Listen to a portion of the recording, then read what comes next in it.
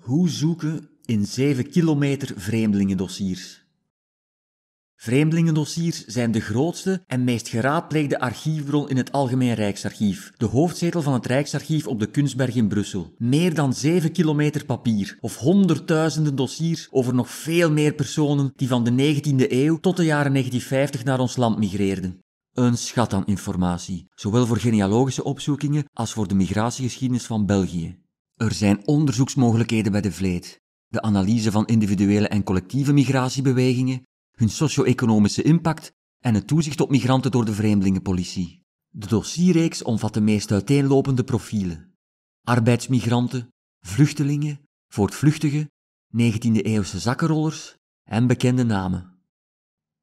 Elk dossier draagt een uniek identificatienummer. Hoe hoger dit nummer, des te recenter is het dossier. De reeks begint al in de jaren 1830. In 1889 wordt dossier nummer 500.000 geopend, in 1912 dossier nummer 1 miljoen, in 1943 nummer 2 miljoen, enzovoort. Hoe vind je nu iemands gegevens terug in zo'n papiermassa? Gelukkig heeft de Vreemdelingenadministratie gezorgd voor alfabetische steekkaarten op naam. Deze steekkaarten bevatten altijd de volledige naam van een immigrant en in de overgrote meerderheid van de gevallen ook diens geboortedata. En natuurlijk bevat elke steekkaart een verwijzing naar een dossiernummer. Opzoekingen gebeuren eerst op familienaam. Binnen eenzelfde familienaam zijn de steekkaarten vervolgens alfabetisch geordend op voornaam.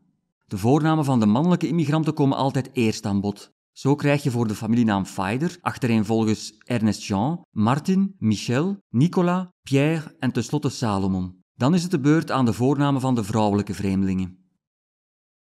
Dossiernummers van vrouwen vind je terug door ofwel te zoeken op hun meisjesnaam, ofwel op de volledige naam van hun eventuele echtgenoot. Tijdens de opzoekingen doe je er goed aan om desnoods enkele alternatieve schrijfwijzen van een naam uit te proberen. Vergeet niet dat de overheidsadministratie tot begin jaren 1960 overwegend Franstalig was. Hierdoor zijn een aantal courante voornamen op de steekkaarten vaak verfranst. In de rechterbovenhoek van een steekkaart staan soms codes genoteerd. De meeste van deze codes verklappen al iets over de inhoud van het dossier, zeker wanneer een migrant in aanvaring kwam met de ordediensten. Vanaf de jaren 1930 bevatten steekkaarten van migranten geboren in België onderaan ook een verwijzing naar het dossier van de ouders. De steekkaart bevat dan onderaan een bijkomend nummer of gewoon de letter P, een afkorting voor parent. Hoe begint de zoektocht naar vreemdelingendossiers praktisch?